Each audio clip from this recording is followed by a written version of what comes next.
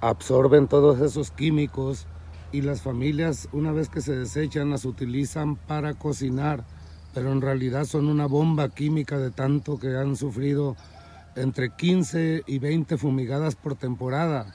Por tres estamos hablando en un aproximado de 50, 60 fumigadas de químicos altamente tóxicos.